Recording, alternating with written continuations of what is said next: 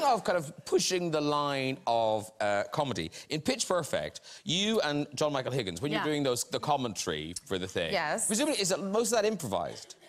Uh, so we get written a lot of great jokes, and then of course we expand on, you know, we play around. Yes, he's one of the great improvisers of all time, and he's constantly trying to make me laugh, to cut me up, right? So he and we we know the movies are PG-13, so we know what the line is, and then he'll const, you know, so I'll say something very sweet like.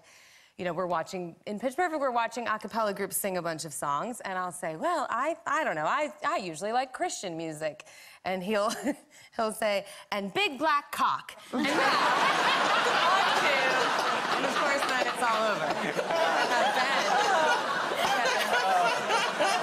I've fallen out. I, I don't remember that from the film. Doesn't make the cut. I don't know why. Not PG-13. Totally true, but not PG-13. Only just noticed this hand. What's I- this hand? Is it someone saying, you'll regret this photograph? You." That- that's Prince Andrew's hand.